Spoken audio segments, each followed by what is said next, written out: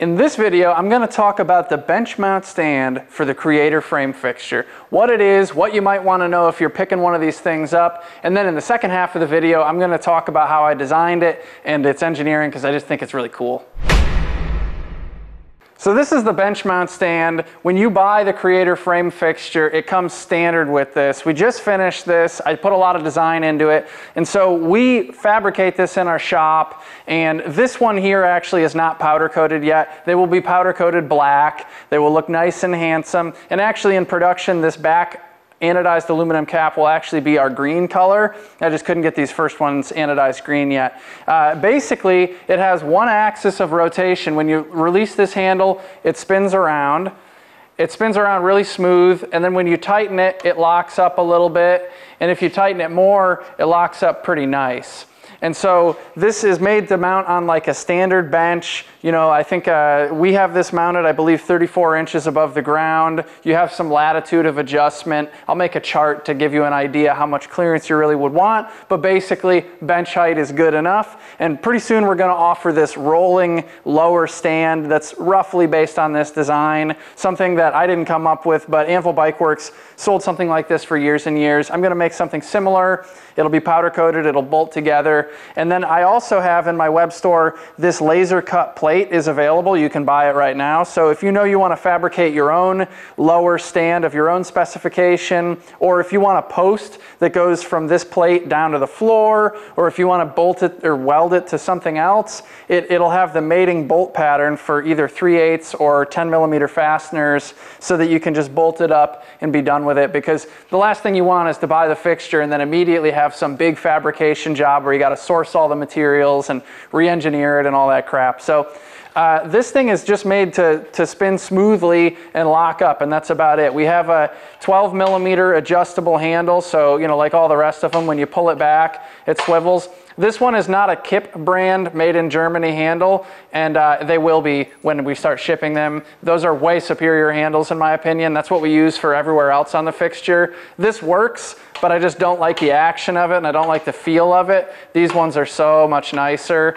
Uh, they cost a little bit more and they're totally worth it. So that, that's what this is gonna be as far as like the user experience is considered, uh, you know, for, for the end user, that's what you would wanna know. But now, let me show you all about how I designed it, how it's engineered, some of the, the nifty features of it. So this is the assembly, sort of an exploded view of the bench mount stand. This is our weldment, so this will be powder coated black with masking on the inside here and on the faces, and the rest of it is uh, just powder coated black to keep it from rusting. This goes against the frame fixture main extrusion. This slides inside of this tube, and then on the back we have the end caps, right? And so uh, there's a lot of details in this. This here has 40 millimeter spacing for these bolts because uh, the extrusion that we're mounting to has T-slots that are 40 millimeters on center. And so you can pass M8 fasteners, 8 millimeter fasteners through these holes and it'll bolt up to that T-slot extrusion. You could use this for a different style of uh, um, you know, frame fixture or your own extrusion, I suppose, uh, but I engineered it for ours, of course. And coming out of this, we have a stainless steel laser cut plate. Uh, I call this the watch plate because it reminds me a little bit of a wristwatch, but it's a, it's a shape that keys into this piece of aluminum, and that becomes relevant because in assembly, I slide this sleeve bearing over and then it goes inside of this other tube, right? And that gets pressed in there. It's got a really nice fit. Uh, it fits really good in there actually. Even after welding, I made sure that it would fit nicely. And we have the steel face here of this tube bears directly against this stainless steel washer. So if this ever were to wear out somehow, you could replace it. I'm sure it won't wear out. You could also replace this for a different material, which I'm going to play with, but I think this is probably what we're going to stick with. And uh, it's just cool because aluminum is very manufacturable and handsome, and the stainless steel has a good wear characteristic. And this is a really practical and economical way to put them together. So I, I thought that was cool.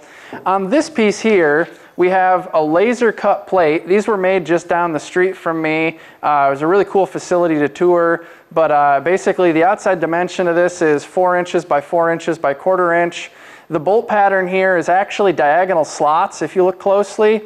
And that way you can accommodate uh, two different bolt patterns. So if you're thinking in inches, you could just do 3 eighths of an inch fasteners at 3 inches on center bolt spacing.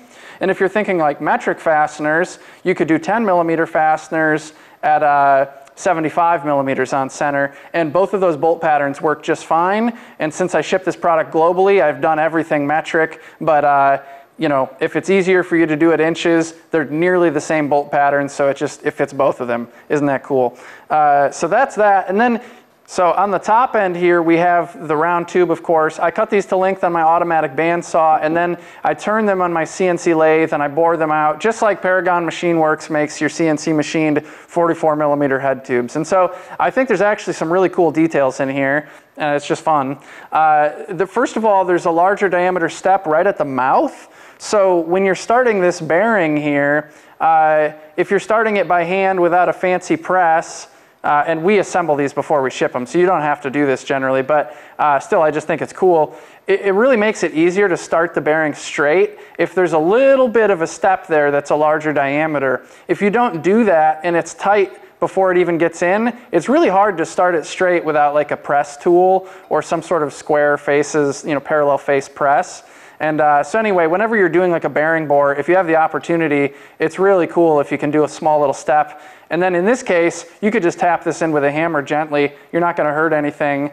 So that's, that's a really cool design consideration. And then further back in the bore, there's another step. And uh, that's actually serving a different purpose, which is that these bearings are an off-the-shelf component. You can buy these from McMaster-Carr. I think this one is $3 and I think this one is $4. They're 44 millimeters on the outside nominally and they're 40 millimeters on the inside. They're a food grade acetal Delrin plastic bearing. They'll last forever. But if you ever wanted to replace it or something, you could. It's just off-the-shelf component. And in order to make this off-the-shelf component work with my specification and my, my use case, we see that the weld here actually uh, is going to distort the shape of the tube. And I didn't really need this to bear tightly against the bore through its whole depth. I really only need the first little bit of it. And so what I did is actually I relieved some material further back so that where that weld overlaps into the bearing zone, the press fit zone, it's, uh, it's relieved a little bit back there. So like if while we're welding this here, it kind of puckers and distorts the shape of the tube a little bit on the inside there, that's actually not going to create an interference with this bearing uh, because it's in the middle of the tube. So I had a lot of fun iterating on that design, running some on the lathe, then testing them, seeing what the issue was, then doing another one. It's just a lot of fun to develop that. And uh, I feel like if I needed to make a CNC machine bicycle head tube, I've like learned a little bit about that sort of process. Uh, it was totally fun. Then if we look at this assembly here, we have a sleeve bearing on this end and we have a flange bearing on this end. And so a flange bearing has the flange. Also, this is 20 millimeters across and this one is 30. That's just the specification that I could get off the shelf, so I'm just using those. Although this is more than I would need for the, for the thickness or the depth or however you want to think of that. But the reason that I want a flange here is because on this end, we have the bare steel of this tube up against this stainless washer. But on this end, we have an aluminum cap against this Delrin plastic. This is a nice sliding surface. You're not going to wear out the aluminum or the, or the plastic this way. They're going to slide nicely and smoothly. So I didn't want to have the um, sleeve bearing on this end because it would have been aluminum on steel. Uh, th that would chew this up over time. On this end, I didn't want the, the flange because if it was steel against the, the uh, plastic against aluminum, none of that really bites or grips that well. And so it's important that when you do lock it, it, it locks up pretty well and you get better friction between the steel and the stainless uh, than you would between that and the plastic. And so I do a sleeve bearing on this end and a flange bearing on this end. And then if you look here, uh, you know, like in assembly, these pieces slide together, right? And you have, uh, the aluminum doesn't touch the steel, which is, you know, part of the idea with this design.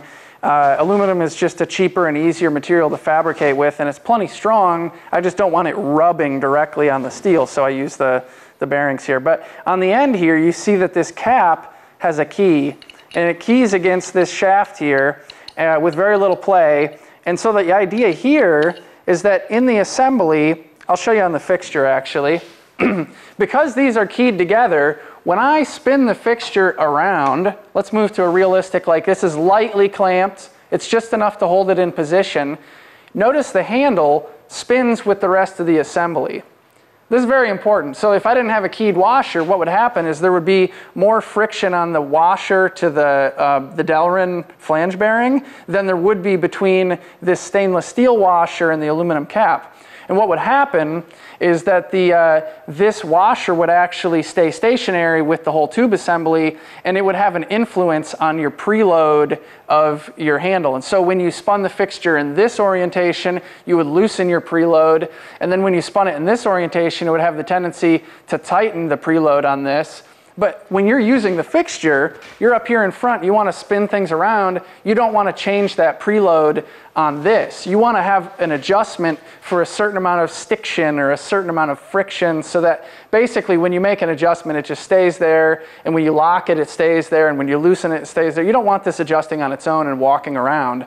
And so anyway, by keying that, I was able to make this spin together. This handle moves with this, not with this. And so that's it's a small detail that I think is pretty important. Now, if I didn't have to do that, I could have manufactured that part completely on my lathe. Would have been easier and cheaper, but uh, I developed a process to make that on my mill that's actually still very efficient. So in the end, like it really doesn't cost us that much more and I think it's totally worth doing because when you adjust this, you don't want to be thinking about this, you want to be thinking about that. There's another thing that I wanted to point out. I do this in a lot of my tooling. I've done it a couple places on the frame fixture. So you'll see that we have an adjustable handle at the end. And these are cool. They have, they have splines and a spring.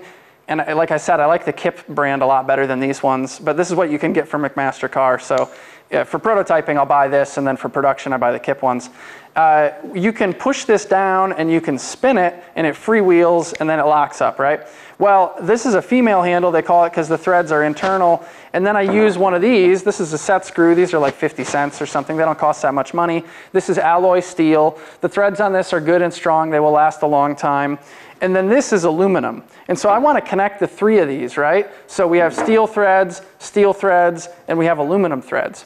Now you could buy what they call the male version of this that has external threads on a, on a shaft, but instead I do it this way. I'll take this screw, I'll, I'll, I'll make the threads of very specific depth here, I'll put Loctite on this, and then I'll bottom it out hard into this, and now this steel thread becomes an extension of this part. And when you spin this, you're turning these steel threads against these steel threads, right? And basically, the steel on the steel is going to last a very, very long time. And if you ever were to chew up or wear out the threads, this is replaceable and this is replaceable. This is the harder part to replace uh, if you're not in my machine shop, or even if you are. You don't want to have to like what you would hate is if you chewed up these aluminum threads, which are relatively softer, and then you'd have to like drill it out bigger and install a helicoil, and it's a whole bunch of nonsense. And uh, basically, there's a design solution, which is just to, to plan on doing it this way. For I don't know if it even costs any more money at all. It'd be probably less than a dollar extra, if anything. You just bottom this out into here, and then this spins on that and uh, now you have a much more robust thread system. I do that in a lot of places on my tools. I don't know where I saw that first or if I came up with that, but it, it works really good. I would recommend doing that whenever you can when you're dealing with aluminum and threads that carry a load. So this is just the stand of the whole fixture. Uh, hopefully this illustrates the thoughtfulness that goes into every little detail. There's other videos that I made about this fixture and its benefits and its application. And uh, I have all sorts of information on my website. I'd love to talk to you if you're interested in a frame fixture. I'm just a nerd about this stuff. I'd love to help you figure out if this one is right for you or not. It's all good. Thanks for watching.